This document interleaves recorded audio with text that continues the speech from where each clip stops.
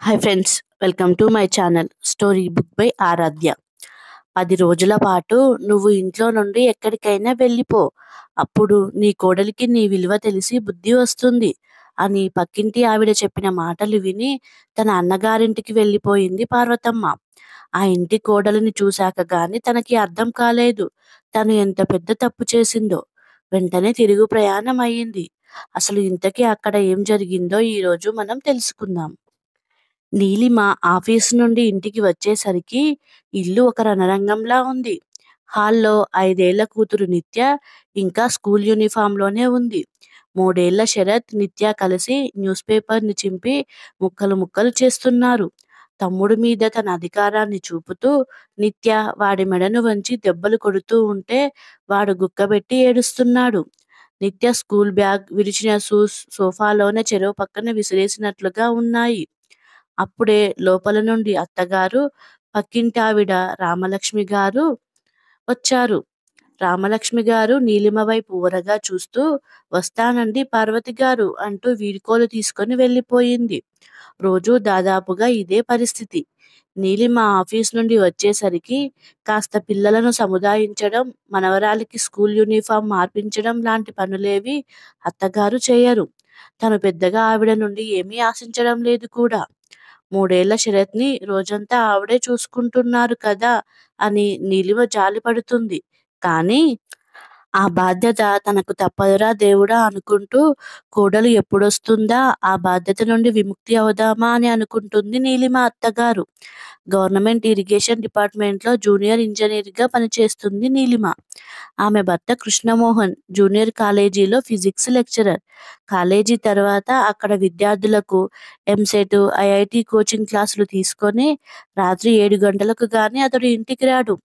ఇంట్లో పొద్దుటే లేచి టిఫిన్ వంట చేసి కూతుర్ని స్కూల్కి పంపించి అప్పుడు ఆఫీస్కి బయలుదేరుతుంది నీలిమ. మూడేళ్ళ శరత్ స్నానం కూడా నీలిమే చేయించాలి. మొదట్లో అత్తగారు చేయిస్తారు అనుకుంటూ ఆఫీస్కి వెళ్ళిపోయేది. కానీ ఒకరోజు అత్తగారు వాడికి స్నానం చేయించడం నా వల్ల కాదమ్మాయి. ఆ పని కూడా నువ్వే పూర్తి చేసి వెళ్ళమని చెప్పింది. మామగారు లేని మూలాన అత్తగారు మా వీరితోనే ఉంటారు. కోడలు పొద్దుటే ఆఫీస్కి వెళితే ఎప్పుడో వస్తుంది. పాపం చేయగలిగిన సహాయం చేద్దామని కూడా ఆవిడ అనుకోరు. నీలిమది సర్దుకుపోయే స్వభావం. ఆఫీస్ నుండి ఇంటికి రాగానే కాసేపు కూడా కూర్చోకుండానే వెంటనే పనిలోకి దిగుతుంది. భర్త వచ్చేసరికి ఇంటిని పిల్లలను నీటుగా ప్రశాంతంగా ఉంచాలని నీలిమ తాపత్రయం. నీలిమ ఆఫీస్కి వెళ్ళాక పార్వతమ్మ గారు భోజనం చేయగానే పక్కింటి రామలక్ష్మి గారు వచ్చేస్తారు. ఆవిడ కోడలు హౌస్ వైఫ్ అన్నీ ఆ అమ్మాయే చూసుకుంటుంది. రామలక్ష్మి గారికి పని పాట ఉండదు. ఏమీ తోచదు. పార్వతమ్మ గారింటికి వచ్చేస్తుంది. ఇక వాళ్ళిద్దరి కాలక్షేపం లోకంలోని కోడళ్ళే. చుట్టుపక్కల ఇళ్ళలోని కోడళ్ళు బంధువుల ఇంటి కోడళ్ళే కాకుండా వారి కోడళ్ళ గురించి కూడా అనర్గళంగా చర్చలు చేసుకుంటూ వాళ్ళపై లేనిపోని అభియోగాలు చేస్తూ సంతృప్తి పడిపోతారు. మీరు చూడడం ఏమిటండి మీ మనవడిని? ఈ వయసులో మీ కోడలేమో టిప్ టాప్గా తయారై ఆఫీస్కి వెళ్తూ లక్షలు లక్షలు సంపాదిస్తుంది. మీరేమో ఒక పని మనిషిలా పొద్దుటి నుంచి సాయంత్రం వరకు ఈ పిల్లాడిని సాకడం ఏంటి? హాయిగా ఈ వయసులో ఏ బాధరా బందీ లేకుండా స్వేచ్ఛగా ఉండాలి కానీ అంటూ లేనిపోని ఆలోచనలను పార్వతమ్మ గారి తలకాయకు అంటిస్తుంది రామలక్ష్మి. నీలిమ పెళ్ళై అత్తవారింటికి వచ్చాక అత్తగారు నీలిమతో బాగానే ఉండేది. ఈ ఆవిడే ఇంటి పనంతా చూసుకునేవారు. మనవరాలు పుట్టాక కూడా ఆ పాపను బాగానే చూసేవారు. ఎప్పుడైతే రామలక్ష్మి గారు వారి పక్కింట్లోకి వచ్చారో అప్పటి నుండి ఆవిడలో మార్పు చోటు చేసుకుంది. రామలక్ష్మి గారి కోడలు ఉద్యోగస్తురాలు కాదు. కోడలిపై పెత్తనం చేస్తూ ఆ అమ్మాయి మీద లేనిపోని చాడీలు చెబుతూ అత్తగారు అంటే నాలా నాలా ఉంటేనే రోజులంటూ పార్వతమ్మ గారికి హితోపదేశం చేస్తుంది. అత్తగారిలో వచ్చిన మార్పును నీలిమ కనిపెట్టగలిగిన ఆవిడ పెద్దరికానికి విలువ ఇస్తూ ఆవిడను పల్లెత్తు మాట కూడా అనకుండా అన్ని పనులు సక్రమంగా చేసుకుంటూ ఉంటుంది. ఒకరోజు రాత్రి అందరూ భోజనాలు చేస్తుండగా పార్వతమ్మ గారు కొడుకుతో ఒరే కృష్ణ మీ మామయ్యను చూసి చాలా రోజులయ్యింది. విజయవాడ వెళ్ళి మామయ్య ఇంట్లో ఒక వారం రోజులు ఉండి వస్తానురా అనేసరికి కృష్ణమోహన్ ఇదేంటమ్మా ఇప్పుడు వెళ్ళడం ఏమిటి శరత్ని ఎవరు చూస్తారు? నిత్య స్కూల్ నుండి వచ్చాక ఎక్కడుంటుంది? నాకు సెలవు పెట్టడం కుదరదు. మరి నీకు నీలిమా? అమ్మ వచ్చే వరకు సెలవు పెట్టగలవా? అన్నాడు. అయ్యో అసలు కుదరదండి. నేను తప్పకుండా అటెండ్ అవ్వాలి. ఈ నెల అంతా బిజీనే. కానీ పాపం అత్తయ్య గారు వెళ్తానంటున్నారు. ఎలా అంటూ భర్త వైపు సాలోచనగా చూసింది. ఆవిడైనా పోనీలేరా తర్వాత వెళతానని అనలేదు. ఇంతలో నీలిమే పోనీలేండి అత్తయ్య గారికి పంపిద్దాం. ఆవిడకు కూడా కొంచెం మార్పు విశ్రాంతి ఉండాలి కదా. నేను మా పిన్ని కూతురు కళ్యాణి ఇంట్లో బాబును దింపేసి ఆఫీస్కి వెళ్తాను. మన ఆటో డ్రైవర్తో నిత్యను స్కూల్ అయిపోయిన తర్వాత కళ్యాణి ఇంట్లో దింపమంటాను. నేను ఆఫీస్ నుండి వస్తూ పిల్లలు ఇద్దరిని తెచ్చుకుంటాను అంది నీలిమ. నీలిమ పిన్ని కూతురు ఉండేది పక్క వీధిలోనే. అవసరానికి సహాయపడుతూ ఉంటుంది. ఎలా ఉంది ఐడియా? అంటూ భర్త వైపు చూసింది. బాగానే ఉంది గాని మెయింటైన్ చేసుకోగలవా నీలు? అన్నాడు భర్త. పర్వాలేదండి. అన్నీ కావాలంటే కుదరదు కదా. రేపు ఆదివారం కదా. అత్తయ్య గారిని ట్రైన్ ఎక్కించండి. మీ మామయ్య గారికి ఫోన్ చేసి చెప్పండి అంటూ గ్రీన్ సిగ్నల్ ఇచ్చింది. ఏ సమస్య అయినా చక్కగా చిటికెలో పరిష్కరించగలిగే తెలివి ఉన్న నీలిమ అంటే కృష్ణమోహన్కి చాలా ఇష్టం. ఇంట్లో పనులన్నీ ఓర్పుగా నేర్పుగా నిర్వహిస్తుంటుంది ఏనాడు తన మీద చికాకు పడని భార్య అంటే ఎంతో అనురాగం అతనికి. అసలు పార్వతమ్మ గారి ప్రయాణానికి నారు పోసింది రామలక్ష్మి గారి. మీరు మీ మనవడిని మనవరాలిని చక్కగా చూసుకుంటున్నారు కాబట్టి మీ కోడలి ఆటలు సాగుతున్నాయి. మీ విలువ ఏమిటో తెలిసి రావాలంటే ఒక వారం పది రోజులు మీరు ఎక్కడికైనా వెళ్ళిపోండి. అప్పుడు అప్పుడు మీ కోడలు లబోదిబోమంటుంది. అప్పుడప్పుడు ఇటువంటి చురకలు అంటించకపోతే ఈనాటి కోడళ్ళు పేత్రెగిపోతారు అని చెవిలో నూరిపోసింది. మరునాడు ఆదివారం తల్లిని విజయవాడకు ట్రైన్ ఎక్కించి వచ్చాడు కృష్ణమోహన్. నీలిమ అనుకున్నట్లుగానే యథాప్రకారం పొద్దుటే లేచి అన్ని పనులు పూర్తి చేసుకొని పాపను స్కూల్ దగ్గర దింపేసి బాబును కళ్యాణి ఇంట్లో దిగబెట్టి ఆఫీస్కి వెళ్ళిపోతుంది. ఇక్కడ పార్వతమ్మ గారు రామలక్ష్మి గారి మాటల ప్రభావంలో పడిపోయి అన్నగారింటికి వచ్చిందే కానీ ఆవిడను ఎవరూ ఆప్యాయంగా ఆదరించనే లేదు. అన్నగారికి వదినగారికి పార్వతమ్మ పట్ల అభిమానం ఉన్నా ఇంట్లోని మిగతా వారికి ఆవిడ రాక అసహనంగానే ఉంది. ముఖ్యంగా ఆ ఇంటి కోడలికి. అసలు ఆ అమ్మాయి పార్వతమ్మను సరిగ్గా పలకరించనే లేదు. అన్నయ్య కోడలు రేఖ అహంభావి అని పార్వతమ్మ విని ఉంది. చదువుకున్న అమ్మాయి అయినా ఉద్యోగం చేయదు. ఇంట్లో అన్ని పనులు అన్ని వదినగారు చేయాలి. వదిన ఇంట్లో పనులన్నీ యంత్రంలా చేయడం చూసింది. కనీసం ఆ అమ్మాయి తన పిల్లలను కూడా పట్టించుకోదు. ఎప్పుడూ మొబైల్ ఫోన్ చేతిలో పట్టుకొని ఏదో అజమాయిషి చేసేస్తున్నట్లు అటు ఇటు తిరుగుతూ ఇంట్లో బాధ్యతలు అన్నీ తానే నిర్వహిస్తున్నట్టుగా బిల్డప్ ఇస్తుంది. ఎప్పుడు చూసినా ఫుల్ మేకప్లో ఉంటుంది. ఎవరో ఒకరు స్నేహితులంటూ వస్తూనే ఉంటారు. మామగారి ఎదుటే పొట్టి పొట్టి టీషర్ట్స్ జీన్స్లో తిరుగుతూ ఈనాటి ఆధునికతకు ప్రతీకగా ఉంటుంది. పెడసరి మాటలతో మామగారిని అత్తగారిని చిన్నబుచ్చుతూనే ఉంటుంది. అన్నయ్య వదిన ఆ అమ్మాయి ప్రవర్తనకు ఆవేదన పడటం ప్రత్యక్షంగా గమనించింది పార్వతమ్మ. అప్పుడే పార్వతమ్మ వచ్చి వారం రోజులు గడిచిపోయాయి. కొడుకు కోడలు మామూలుగా యోగక్షేమాలు అడుగుతూ ఫోన్ చేస్తున్నారే తప్ప వచ్చేయమని మాత్రం అనటం లేదు. అమ్మను వచ్చేయమంటానని కృష్ణమోహన్ అంటున్నా నీలిమే అయ్యో పాపం ఆవిడను కొన్నాళ్ళ పాటు ఉండనీయండి. మీ మామయ్య అత్తయ్యతో ఆవిడకు చక్కని కాలక్షేపం అవుతుందేమో అంటూ భర్త ప్రయత్నాన్ని నివారించింది. మరో ఐదు రోజులు గడిచిపోయాయి. ఒకరోజు రేఖ పార్వతమ్మ దగ్గరికి వచ్చి ఇంకా మీరు ఇక్కడ ఎన్ని రోజులు ఉంటారండి?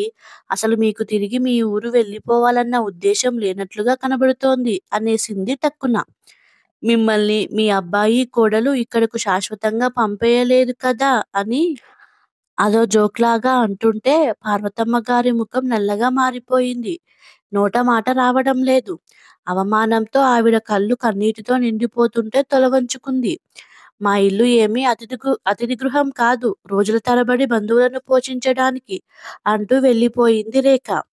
రేఖ మాటలకు పార్వతమ్మ గారి ముఖం సిగ్గుతో చితికిపోయింది. ఇంకా నయం. అన్నయ్య వదిన రేఖ మాటలు వినలేదు. విని ఉంటే ఇంటి ఆడపడుచుకు జరిగిన అవమానానికి బాధపడి ఉండేవారు అని అనుకుంది. వెంటనే ఒక నిర్ణయానికి వచ్చేసి మరుసటి రోజునే అన్నగారి చేత టికెట్ తెప్పించుకొని హైదరాబాద్కు తిరుగు ప్రయాణమైంది పార్వతమ్మ. ఏమిటో ఒక రకమైన ఆవేదన మనసును కోసేస్తుంటే కొడుక్కి తను బయలుదేరుతున్నట్లుగా కూడా ఫోన్ చేసి చెప్పలేదు. మరునాటి ఉదయాన్నే ఇంటి ముందు ఆటోలో నుండి దిగిన అత్తగారిని చూస్తూనే నీలిమ గబగబగా దగ్గరకు వచ్చేసి ఆవిడ బ్యాగ్ని అందుకుంటూ ఏమిటత్తయ్యా అయినా చేయలేదు బయలుదేరుతున్నట్టు. మీ అబ్బాయి స్టేషన్కి వచ్చేవారు కదా అంటూ ఆప్యాయంగా పలకరించేసరికి ఆవిడ గొంతు గద్గదమయ్యింది నోట మాట రాలేదు. నానమ్మ అంటూ ఆవిడ కాళ్ళను చుట్టుకున్న శరత్ నిత్యను దగ్గరకు తీసుకుని ముద్దు పెట్టుకుంది. ఈలోగా కృష్ణ ఏంటమ్మా చెప్పాపెట్టకుండా వచ్చేశావు అనగానే అవునురా రెండు రోజుల నుండి మీరంతా కళ్ళలో కదలాడుతున్నారు. ముందుగా చెప్పేది ఏముందిలే అని అప్పటికప్పుడు అనుకుని బయలుదేరి వచ్చేశాను. నాకేమైనా ఊరు తెలియదా అంటుండగా నీలిమ వేడివేడి కాఫీ గ్లాస్ అత్తగారి చేతికి అందిస్తూ మిమ్మల్ని బాగా మిస్ అవుతున్నాం అత్తయ్య.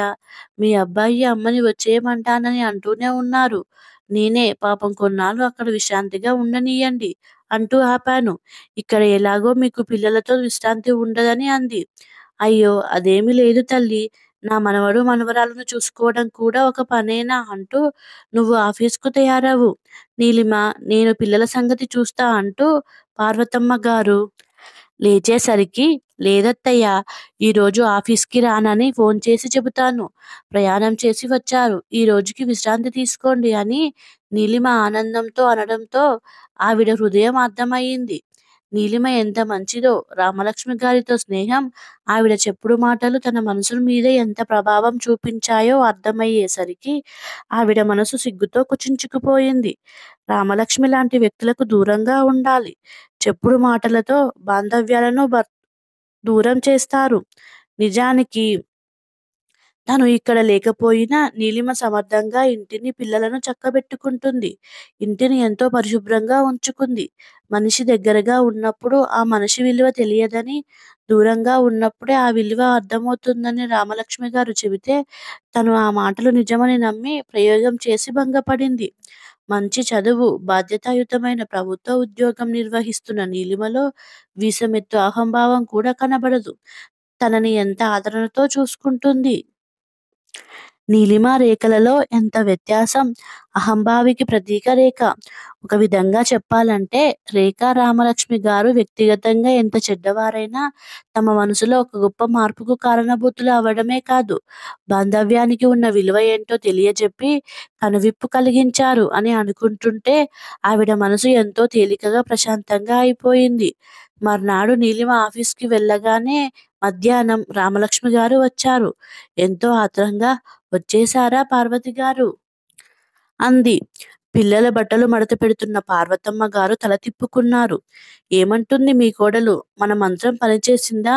మీ విలువ ఏమిటో ఇప్పటికైనా మీ కోడలికి అర్థమయ్యే ఉండాలి అనగానే పార్వతమ్మ గారు తీక్షణంగా ఆవిడ వైపు చూస్తూ ఎవరి విలువ ఎవరికి అర్థం కావాలి రామలక్ష్మి గారు మనం లేకపోయినా హాయిగా సమర్థించుకోగలిగే ఆర్థిక బలం, స్వాతంత్రం కలిగి ఉన్నారు నేటి కోడళ్ళు. పని మనుషులను ఆయాలను ఆయాలనో లే లేకపోతే డేకేర్లో పిల్లలను వేసుకొని ఎలాగోలాగా సర్దుకుపోగలరు. కానీ మనలాంటి వాళ్ళకే వాళ్ళ ఆదరణ లేకపోతే దిక్కు ఉండదని గ్రహించుకోవాలి. కోడలని ప్రేమగా మన ఇంటి ఆడపిల్లగా చూసుకున్నప్పుడు చూసుకున్నప్పుడు వాళ్ళు కూడా మనల్ని గౌరవిస్తారు. మనకు ఓపిక ఉన్నంతవరకు వాళ్ళకు సహాయం చేయాలి తప్ప కోడళ్ళకు మనం చేయడం ఏమిటి అని అహంభావానికి పోకూడదు. మా అన్నయ్య కోడలు మా అన్నయ్యను, వదినను గడ్డిపోచలలాగా చూస్తున్నా మా అన్నయ్య, వదిన మౌనంగా సహిస్తున్నారు. అలాగే ఉండాలని కాదు నేను చెప్పేది.